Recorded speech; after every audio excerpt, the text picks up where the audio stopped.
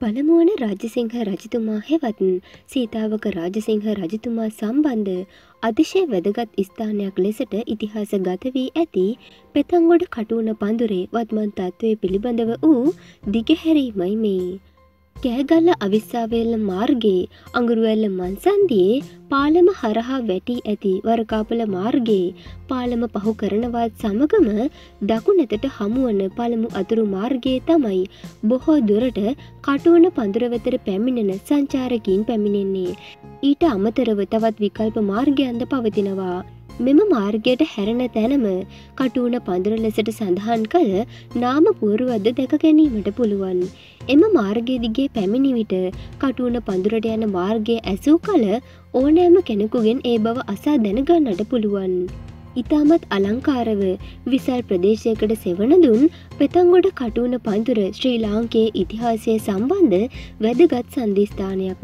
ඒ පළමුුවන රාජසිංහ රජතුමා බලනදී සිදු වූ යුද පරාජයෙන් අනතුරුව නැවතත් සීතාවක බලා පැමිණෙමින් සිටියදී පෙතංගොඩ පිහිටි මෙම කටුවන පඳුරේ උන කටුවක් ඇනීම හේතුවෙන් මරණයට පත් වූ නිසායි.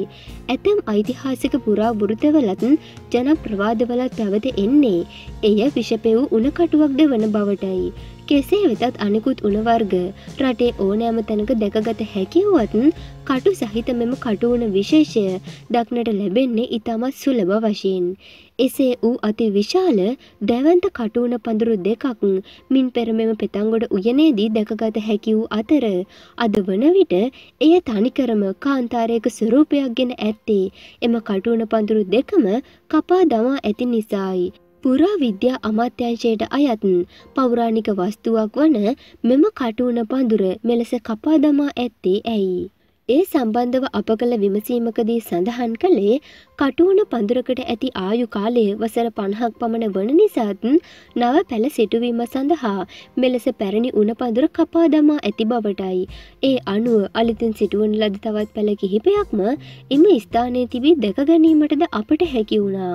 ඉතාමත් රමණීය වෙල්යායක් අද්දරට වන්නට පිහිටා ඇති මෙම කටුවන පඳුර දැවන්ත පඳුර ලෙසින් පෙර පැවති ආකාරයට දැකබලා ගැනීමට තව බොහෝ කලක් ගතවනු ඇති බවට නන්න වනුමානයි. ප්‍රදේශවාසින්නම් පවසන්නේ මෙම උනපඳුරු ආච්චි සීය පුංචි කාල සිටම තිබෙන බවත් මේවාට වසර හැත්තෑවකට අසුවකටත් වඩා වැඩි කාලයක් වන බවටයි.